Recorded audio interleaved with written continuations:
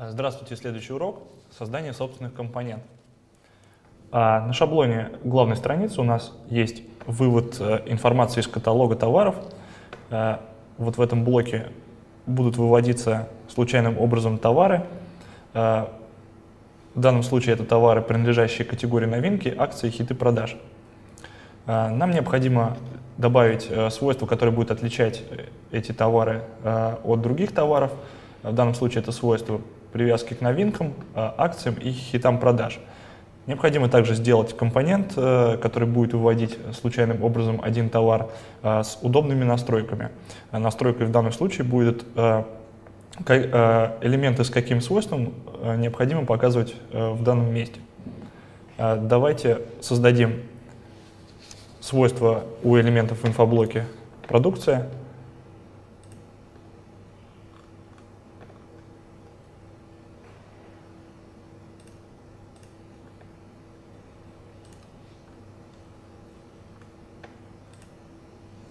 свойство спецпредложения.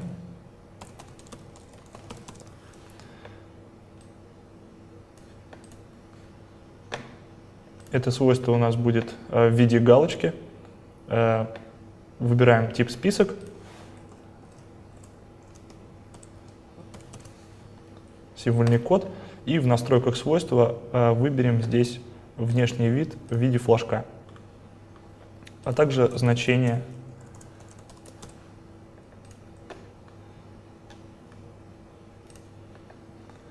То же самое сделаем для остальных свойств.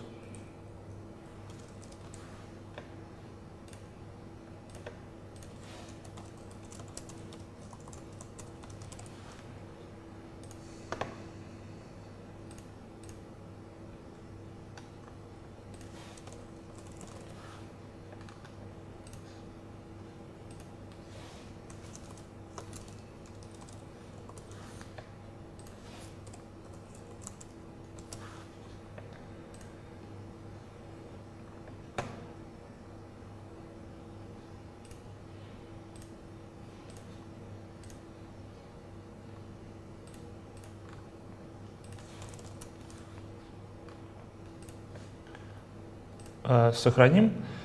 И давайте теперь э, добавим эти свойства к некоторым товарам.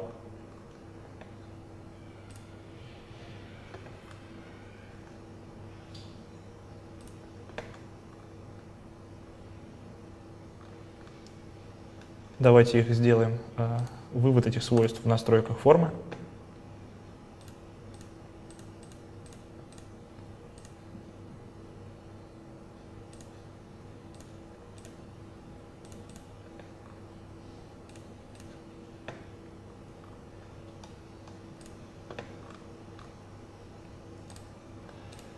И привяжем два элемента к каждому из свойств.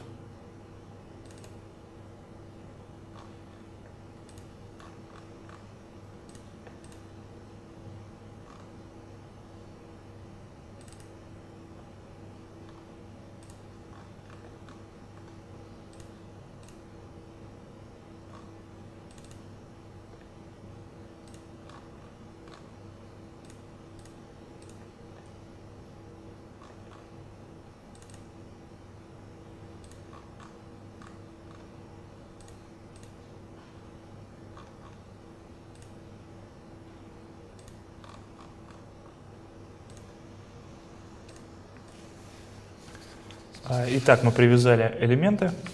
Теперь давайте создадим а, свой namespace и скопируем туда компонент. Для начала выберем, какой компонент использовать. А давайте посмотрим, какие есть стандартные компоненты в информационных блоках. А здесь есть компонент случайное фото, фоторандом, служит для показа произвольной фотографии.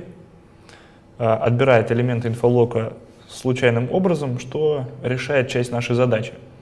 А, давайте разместим компонент на тестовой странице.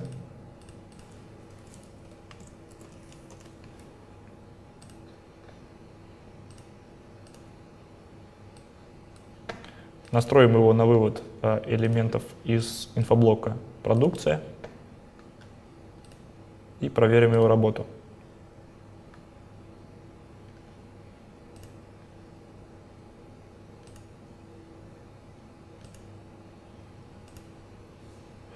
Итак, давайте возьмем этот компонент за основу, скопируем его в свой namespace а, и будем дорабатывать.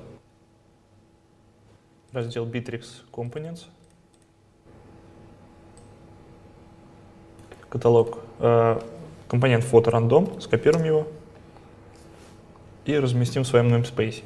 У нас уже есть namespace MyComponents. Разместим его там. Для начала давайте отредактируем файл description PHP. Изменим э, фразу в лонговых файлах.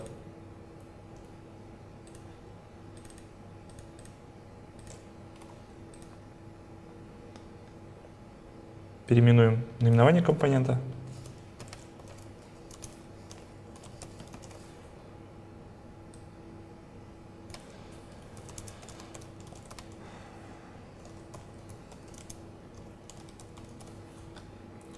Будет э, лежать в разделе расширения каталога.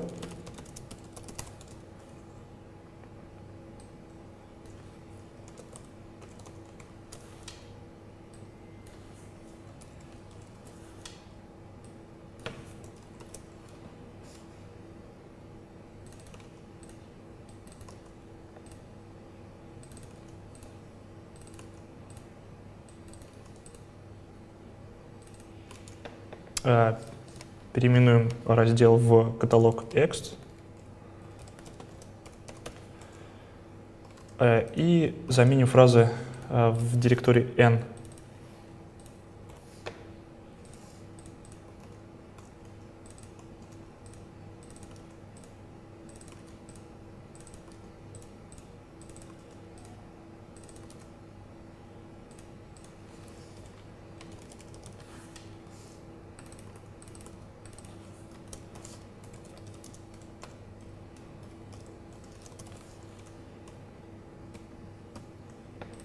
давайте откроем в визуальном редакторе и посмотрим.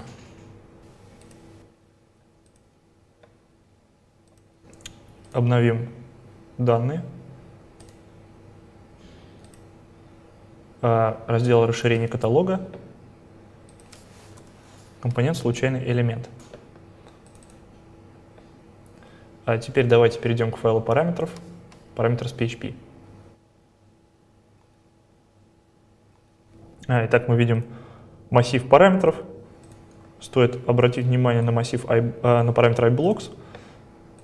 Он множественный. А, здесь э, передается массив ID инфоблоков. Давайте посмотрим в визуальном редакторе. А, вот это свойство. Здесь мы можем выбирать несколько инфоблоков.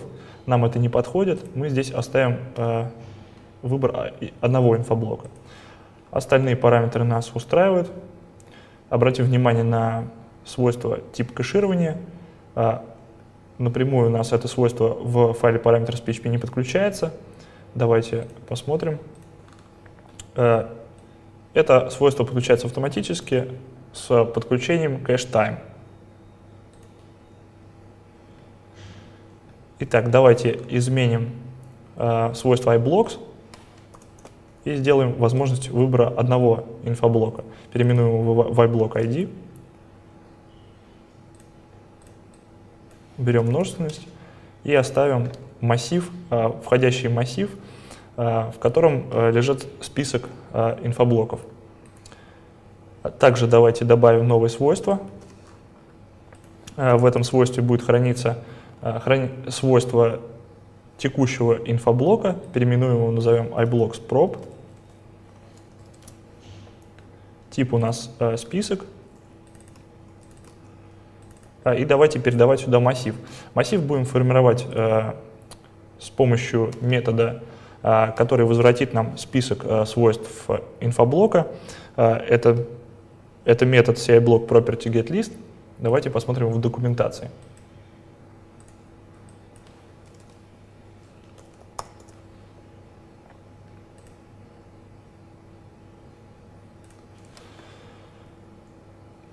Возвращает список свойств по фильтру, отсортированный в порядке order. Соответственно, он принимает два параметра. Это массив для сортировки и сам фильтр. Давайте скопируем пример вызова. Разместим в файле параметров. э, в массиве фильтра нам нужно передать ID инфоблока. В данном случае ID инфоблока будет храниться в массиве arcCurrentValues.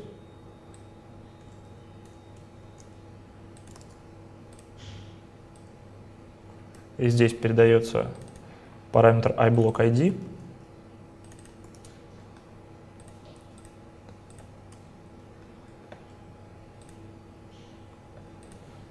И давайте создадим э, массив, в котором будет храни будут храниться свойства э, инфоблока.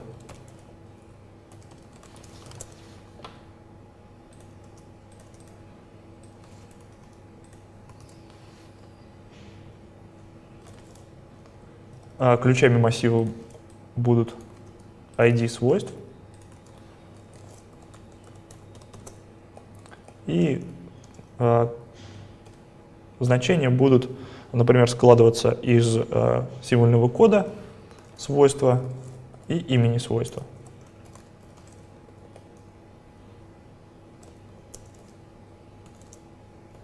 Таким образом.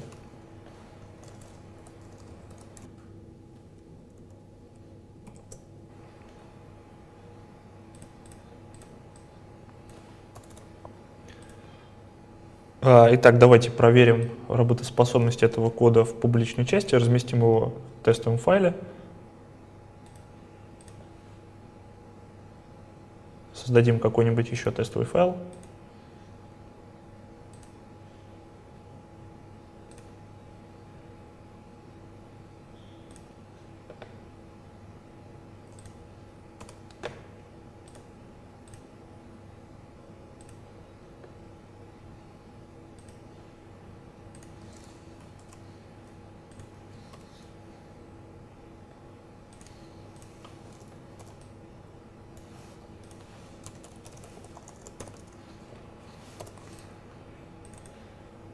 А, сюда нужно будет передать ID инфоблока. Давайте посмотрим, какой используется ID. В данном случае это инфоблок продукция, а ID 2.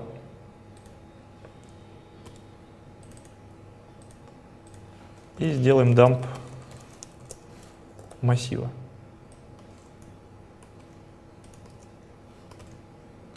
А, также не забудем подключить модуль инфоблок.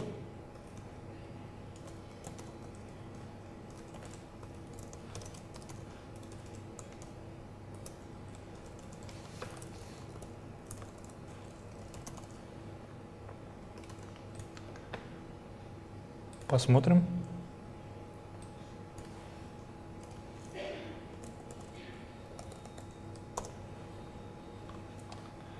А, вот массив, который мы будем передавать а, в свойства. Ключами служит ID а, свойств и описание.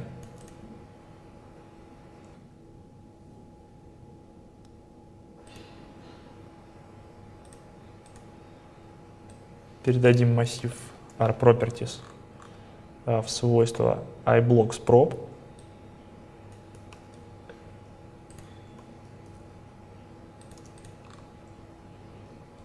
А, сохраним. А, и давайте создадим еще два свойства. Эти свойства будут отвечать за габариты картинки, которая будет показываться. Это ширина картинки и высота картинки.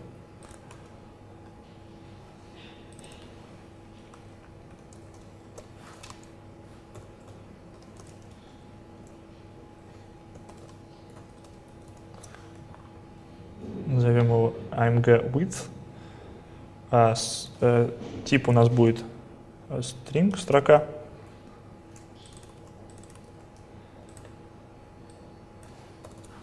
И значение по умолчанию. А, для начала поставим 100. Такое же свойство высоты.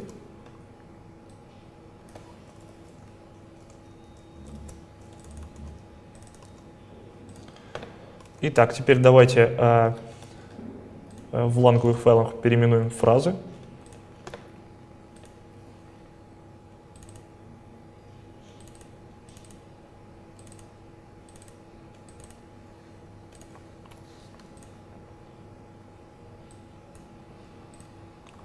мы поменяли э, iBlock ID. Здесь используется iBlock, iBlock Фраза нас устраивает. Давайте добавим iBlocks prop.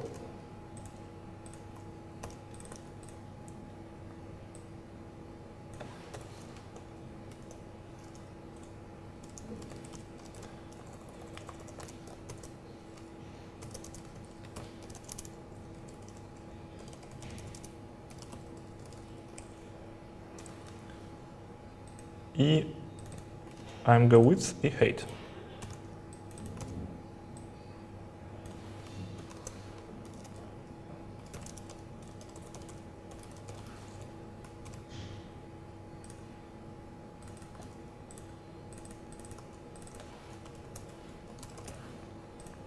То же самое сделаем в директории n.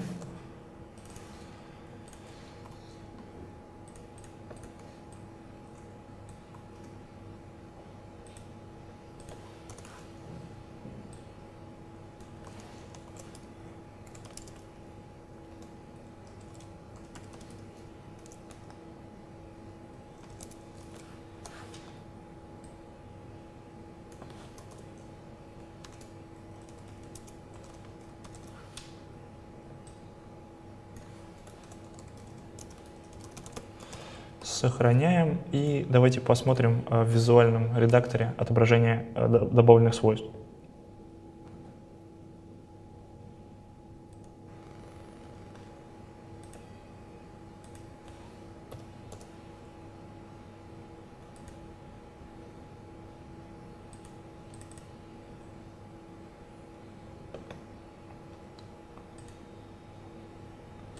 Выберем инфоблок продукция, и мы видим все свойства, которые а, относятся к этому инфоблоку. Также у нас э, добавились ширина и высота изображения. А, и давайте установим здесь значение по умолчанию, соответствующее нашей верстке.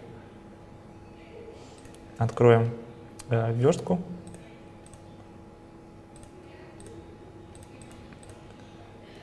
Индексный файл.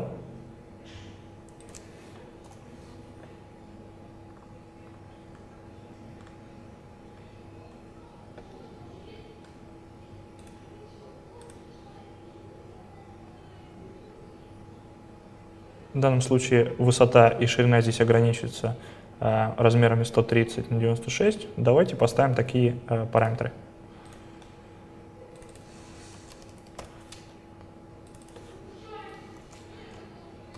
А, итак, сохраняем. А теперь все необходимые параметры для работы компонента у нас есть. Давайте перейдем к компоненту.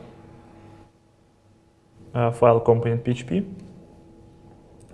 Здесь вначале реализуется обработка э, входящих параметров. Давайте разберемся с ней сначала. Э, здесь есть блок, в котором обрабатывается параметр, множественный параметр с ID инфоблоков. Мы используем один инфоблок, поэтому давайте удалим и заменим следующим преобразованием.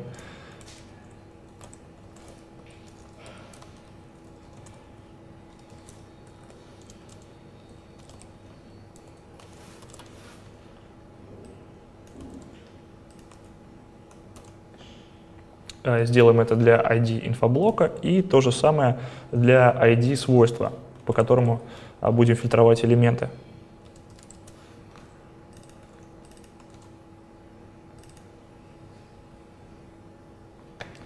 А, далее идет проверка на наличие массива с ID инфоблоков.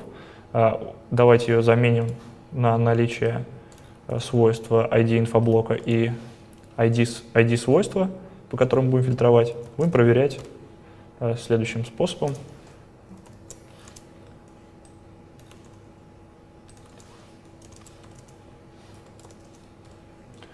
Э, и дальше в условии идет подключение э, кэширования, которое зависит от групп пользователей.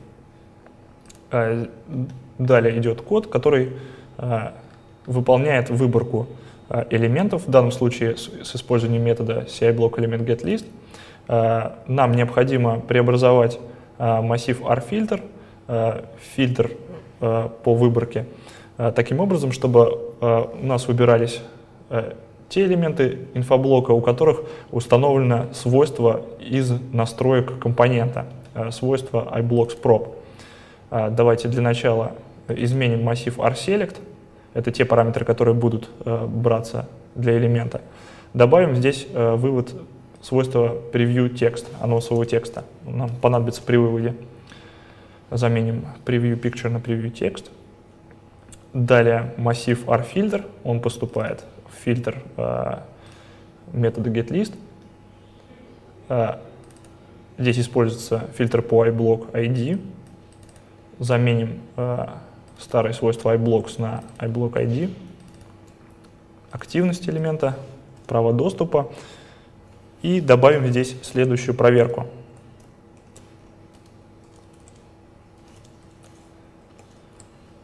А, используем ID свойства.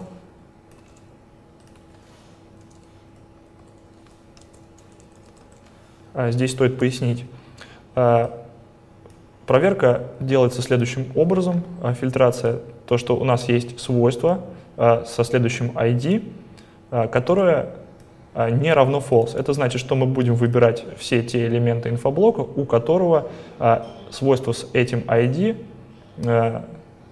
имеет какое-то значение, то есть оно не пустое. Далее в фильтр добавляется следующие переменные. ID раздела. И обратим внимание на массив rsort, сортировка. Здесь как раз реализуется Э, логика случайного отбора э, с помощью ключа rand. Э, все массивы передаются в метод getList. С помощью метода setURLTemplates обрабатываются шаблоны путей к детальной странице элемента. И непосредственно берется тот элемент, единственный, который э, дает нам выборка. Э, здесь идет э, проверка на картинку. Давайте э, здесь сделаем то же самое, что мы делали в списке новостей, изменим размер изображения. Будем использовать э, параметры, э, которые мы добавили в файле parameters. Э, воспользуемся методом изменения размера изображения. Это resize image get.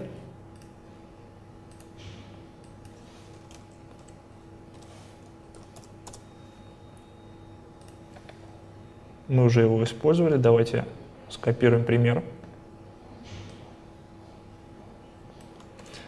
Он передает массив следующего вида.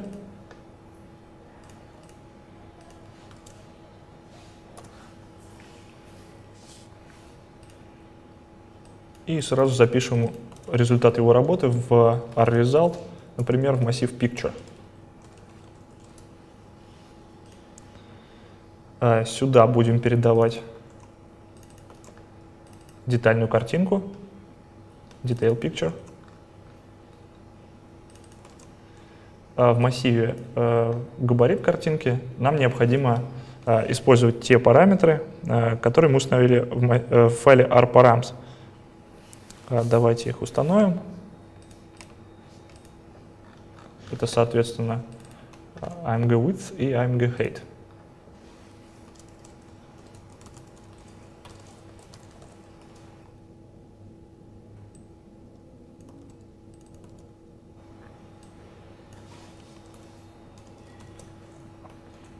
Используется пропорциональный ресайз изображения.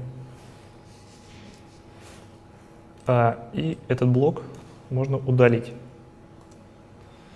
А, далее идет set, а, метод setResult который устанавливает э, ключи массива result, необходимые для использования в кэше. Мы оставим его пустым. И далее подключается непосредственно шаблон. Давайте перейдем к редактированию шаблона. Открываем встроенный шаблон template PHP. Э, и давайте изменим здесь э, э, параметры массива rResult. В частности, у нас здесь используется Massive Picture и э, ключ SRC. Э, нам метод э, resize image get выдает массив с ключом в нижнем регистре. Давайте исправим это. Здесь тоже. Э, и сохраним. В данном случае мы будем иметь э, встроенный шаблон, который подходит для демонстрации работы э, функционала компонента. Давайте посмотрим, э, что у нас получилось. Перейдем на тестовую страницу. Э, в настройках компонента давайте выберем то свойство, по которому нам нужно отобрать. Например, новинка. Сохраним. Э, и теперь в административном разделе давайте найдем э, те элементы инфоблока продукция, у которых есть данное свойство, свойство новинка.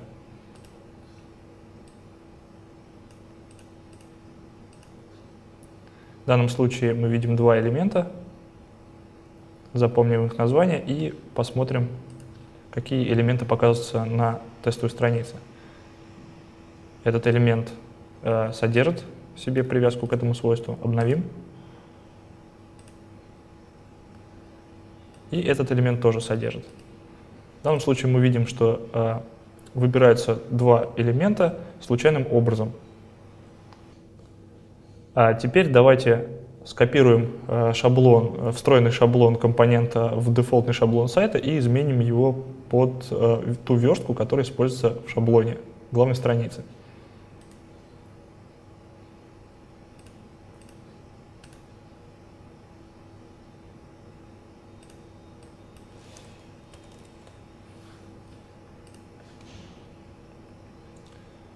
Перейдем в шаблон.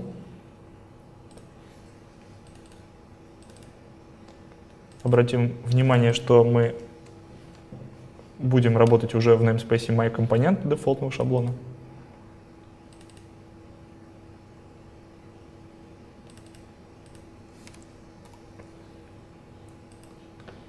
Скопируем верстку из файла index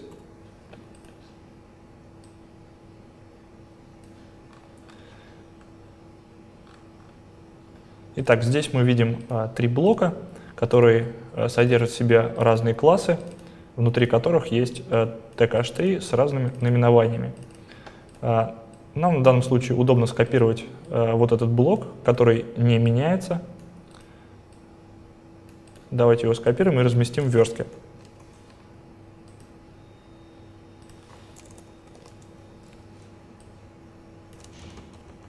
В данном случае используется изображение – давайте сделаем проверку на наличие изображения таким же образом, как сделано здесь.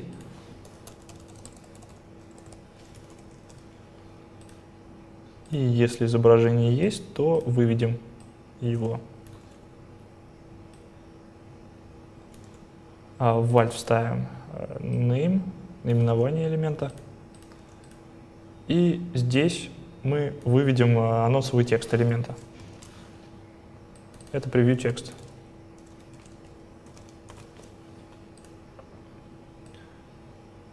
Удалим предыдущую верстку, сохраним. А, давайте посмотрим.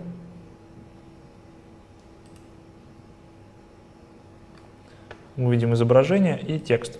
Теперь давайте а, вставим код вызова компонентов в шаблон главной страницы.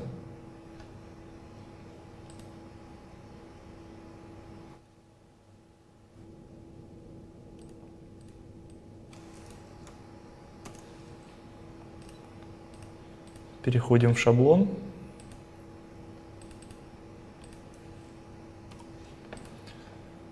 Ищем место, где нужно вызвать компонент. Вот эти три блока. И вместо этого кода мы вызываем компонент. Давайте его разместим в трех блоках.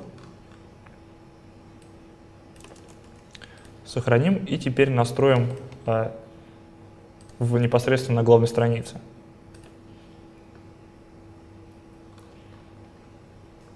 Итак, мы видим здесь три блока. Давайте для начала настроим э, те э, свойства, по которым нужно отбирать элементы. Э, Первый блок это у нас новинки. Соответственно, здесь ставим новинку.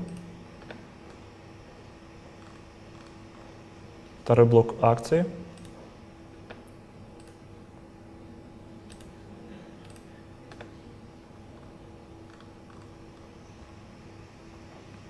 И третий блок – это спецпредложение.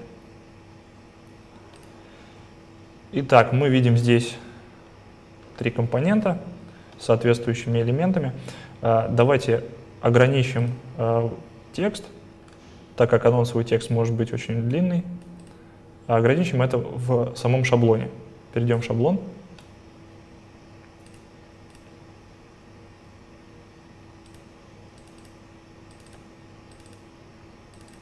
Namespace my components.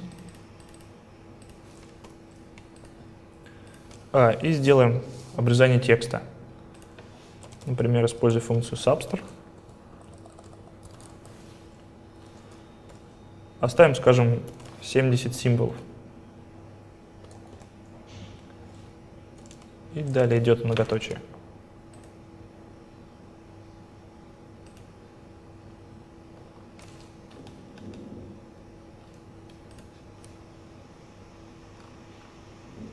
Мы видим, текст обрезался. Э, обратим внимание в настройках компонента. Э, используется кэширование и стоит небольшое время. Э, в данном случае это позволяет снизить нагрузку, и тем не менее мы можем видеть случайные товары с некоторой периодичностью. Подведем итоги. А этапы создания своих собственных компонентов. Во-первых, это создание собственного пространства имен а, для компонента, так как нельзя менять компоненты из namespace Bittrex и копировать туда собственные. Затем копирование типового компонента в namespace или создание. А, заполнение файла описания это файл description.php, или если был скопирован типовой компонент, то изменение этого файла. Далее необходимо проанализировать какие входящие параметры будут необходимы компоненту, а, и вынести их в файл PHP. А, в самом компоненте необходимо обработать входящие параметры. Например, если используется числовой параметр, то воспользоваться приведением его с помощью функции intval. Реализовать непосредственную логику компонента и подключить шаблон, если он необходим. Если компонент использует вывод динамической информации, то а, необходимо использовать кэширование, а, не забыть про функцию setResultCacheCase, э, что позволяет уменьшить размер файлов кэша. А, для начинающих разработчиков рекомендуется использовать стандартные компоненты как пример, как устроены какие функции вызываются и порядок действия с данными.